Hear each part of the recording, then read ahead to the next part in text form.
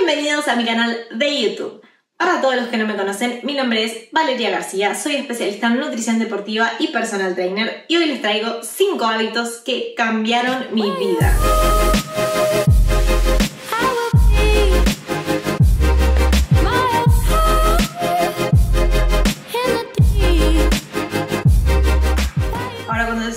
Cambiaron tu vida, ¿qué querés decir, Vale? ¿no? Como por ahí lo estás exagerando un poquito, pero honestamente no lo estoy exagerando. Son 5 hábitos sin los cuales hoy no podría estar en la forma en la que estoy.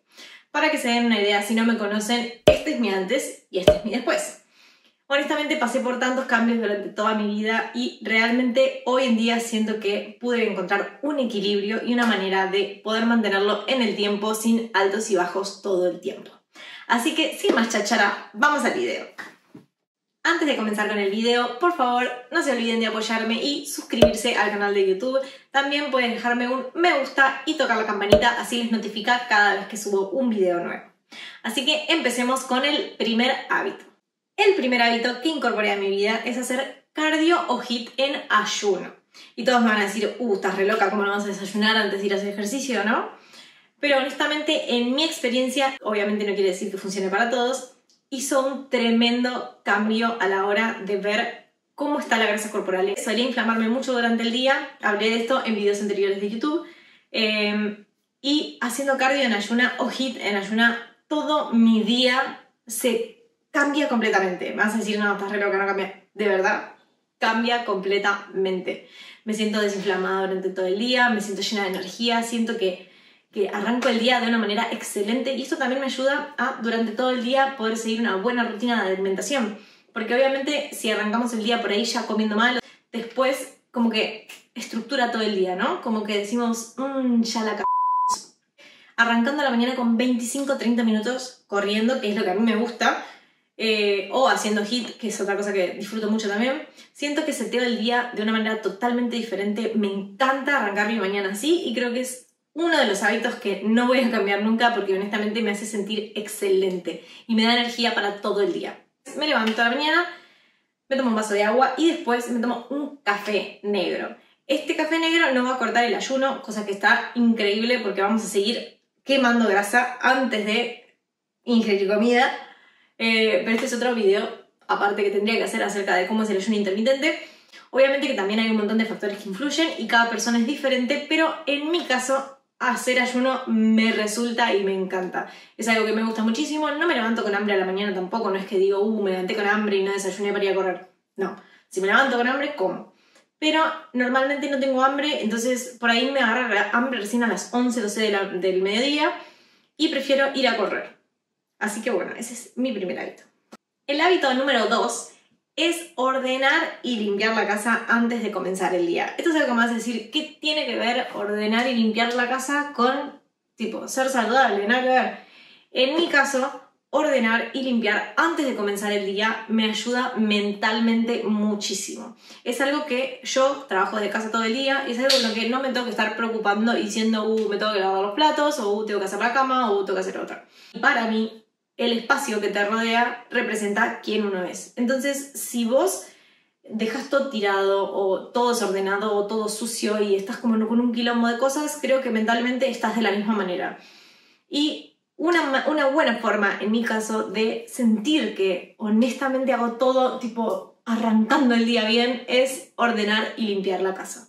Algo que hago todos los días apenas me levanto y esto es algo que para mí es importantísimo, es hacer la cama hago la cama y siento que ya como que toda la habitación queda ordenada, ¿no? Así que una de las cosas que hago es hacer la cama mientras pongo el agua para hacer el café, que les contaba que me tomo el café antes de ir a correr, y mientras ordeno todo lo que puede estar tirado dentro de mi casa, que sé que me va a molestar durante el día y por ahí durante el día voy a estar trabajando y me va a distraer o me va a sacar mentalmente eso que está desordenado, ¿no? Como voy a estar por ahí trabajando y voy a decir, uy, este vaso está fuera de lugar, o esto está todo tirado, o la cama está deshecha, o no sé, cosas que mentalmente sé que me van a distraer del objetivo que tengo en el día. Entonces siento que ordenando y limpiando todas las mañanas, incluso lo hago a veces antes de ir a correr, es una buena manera de arrancar el día sin tantas distracciones en la cabeza y mucho más organizado y ordenado, mucho más enfocado en el objetivo que tengo en el día. Más yo que trabajo todo el día desde casa, siento que es algo que me ayuda muchísimo. El tercer hábito que opté por hacer todos los días, y esto es algo que hago ya hace más de seis meses, todos los días antes de irme a dormir, pienso en todas las cosas que tengo que hacer al día siguiente y las anoto por horario. Esto significa, a las 8 de la mañana me voy a correr, a las 9 de la mañana tengo que ordenar la casa, a las 10 de la mañana empiezo a trabajar, tengo reuniones, hago emails, lo que sea que tenga que hacer en el día, lo anoto. Eso significa que voy a tener un cronograma de todo mi día organizado. Yo suelo ser una persona súper desorganizada y esto es algo que me ayudó muchísimo a poder hacer todas las cosas que quería hacer en un mismo día. Hay veces que no nos damos cuenta y honestamente decimos, ay, sí, voy a hacer esto, voy a hacer esto, voy a hacer esto, voy a hacer esto mañana, voy a hacer esto, voy a hacer esto, voy a hacer esto. Y no terminamos haciendo nada, ¿no? Es como, es algo normal que pasa recibido como, uh, el lunes voy a ir a entrenar y voy a comer bien y voy a ir a la verdulería para estoquearme para toda la semana y voy a trabajar y voy a juntar con amigas y después no terminamos haciendo nada porque obviamente ponemos tantas cosas en nuestro día ¿no? Esto es algo que tipo, hay que ser realista, ¿no? A la hora de armar la lista del anterior.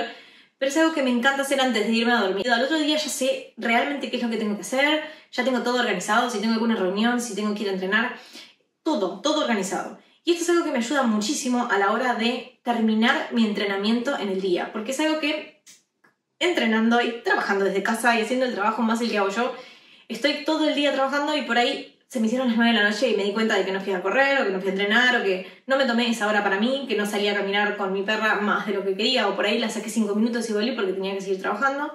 Y esto es algo que, quieras o no, afecta tu día a día. Entonces, en mi caso, todas las noches, antes de irme a dormir, lo que hago es una lista con todas las cosas que tengo que hacer. Obviamente que hay días que llego a cumplirlas todas y otros días que no, pero es una manera de incorporar todas las cosas que quiero hacer en un día por horario. Es como que tengo tantas cosas entre trabajo, familia, eh, estudiar, eh, crear contenido para Instagram, crear contenido para YouTube y tantas cosas y ideas que quiero hacer que después por ahí no termino haciendo nada. Entonces, esto es algo que me ayuda a organizar todo mi día.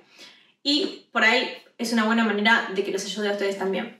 El cuarto hábito que incorporé, no puedo creer que estoy diciendo esto porque nunca pensé que iba a ser yo esta persona, es levantarme más temprano. Esto es algo con lo que siento que se me explota la cabeza porque nunca pensé que me iba a poder levantar temprano para trabajar, para estudiar, para, para correr, para que sea que quiera hacer en el día. Siempre me levantaba tipo 10, 11, algo que te pasa cuando trabajas en tu casa, mucha gente que está ahí lo debe saber, es que por ahí no tenés un horario o no te querés poner alarma porque obviamente trabajas desde tu casa y es tu, tu horario, tus tiempos y demás.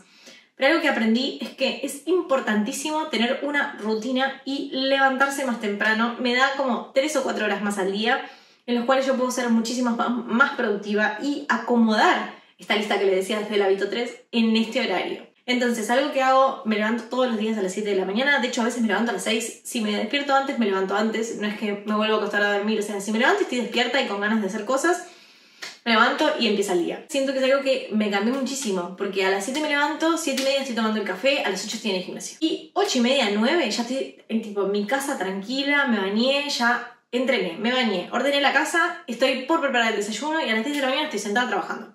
Entonces, quieras o no, organizarte y arrancar el día más temprano te va a dar muchísimo más tiempo para cosas para vos. Y esto creo que es algo súper importante porque necesitamos tener tiempo para nosotros, necesitamos poder relajarnos y darnos algo para nosotros. También este, por ahí si tengo un tiempo libre y no tengo ganas de ir a correr, por ahí leo un libro o aprovecho para estudiar o aprovecho para estar un rato con mi perra o con mi pareja o lo que sea. Siempre está bueno darse un rato para cada uno no solamente me hace dormir mejor y me hace estar súper productiva durante todo el día, sino que aparte puedo cumplir todas las cosas que quiero hacer en ese día y eso está buenísimo. El quinto hábito que tengo para ustedes hoy es hacer las compras del supermercado sin tener hambre. ¿No les pasa que cuando tienen hambre y tipo están en el supermercado o en la panadería o lo que sea, toman una mala decisión? Bueno, esto es porque cuando tenemos hambre, obviamente que no estamos pensando con el estómago, estamos pensando emocionalmente con lo que tenemos ganas de comer en ese momento que nos va a dar felicidad. Sí elegir los momentos en los que vos querés comer ese tipo de comidas y en los que vos te puedes organizar para después que no te saque de toda tu rutina. Tengo dos opciones para ustedes. La primera opción que hago es hacer la lista del supermercado de todas las cosas que quiero comprar y lo compro por internet. Esta es una manera de cuando esté ahí no, no ver algo que diga, ay, yo quiero ese croissant de chocolate o ay, yo quiero esas galletitas saladas. Es una manera de no comprar pelotudeces para tener en casa Y obviamente que si tengo las boludeces en casa me las voy a terminar comiendo, entonces trato de ir al supermercado y elegir la mejor variedad de productos, eh, digamos, que, que tenga sin tener hambre. Entonces, la primera es hacer la compra por internet, es una manera más fácil de comprar todo, sabes que te llega todo a tu casa. En mi caso me gusta ir al supermercado, me gusta ir a la verdulería, lo veo como un paseo, es como, vamos a pasear. Eh, y creo que ayuda mucho también, porque por ahí vos compras el supermercado y te vienen la fruta y la verdura tan podrida, ¿viste? Suelen pasar esas cosas es mejor ir y uno mismo hacer las compras. Sí les recomiendo hacerlo en un momento donde no van a tener hambre. nunca voy al supermercado con hambre porque sé que si voy al supermercado con hambre termino comiendo cualquier cosa. Y no está bueno porque puede comer esa cualquier cosa, digo, si con hambre pues comí cualquier cosa, no comí algo que me nutrió y me dio energía en ese momento. Entonces, voy al supermercado, ya sé lo, más o menos lo que voy a ir a comprar, pero una vez que voy al supermercado sin hambre, no suelo agarrar cosas que no debo y suelo hacer exacta la lista de compras como tiene que ser de hecho, ahorro porque no gasto en pelotudeces que después no me sirven para nada. Y aparte, compro súper bien. Entonces, esto es una buena manera de hacer las compras tipo para toda la semana. Ya sabes lo que vas a tener, sabes lo que vas a comer durante la semana, sabes qué hábitos vas a incorporar, sabes que tipo cuando te dé hambre vas a ir a la heladera y vas a tener algo saludable para comer y es una buena manera de mantenerte en tu rutina alimenticia. Así que bueno, estos son los 5 hábitos que les traigo para hoy. Obviamente que también realizo eh, actividad física y sigo una alimentación saludable, pero hoy no quería traer un hábito como hacer ejercicio todos los días o comer saludable, porque estos son los hábitos que obviamente ya sabemos que hay que hacer. Pero sí quería traerles estos 5 hábitos que para mí cambiaron muchísimo mi vida y honestamente creo que pueden ayudarles a cualquiera de ustedes. Así que en mi experiencia me ayudó muchísimo. Así que bueno, si les gustó este video, no olviden de suscribirse, darle un me gusta y tocar la campanita. Les avisa cada vez que subo un video nuevo. Nos vemos en el próximo video.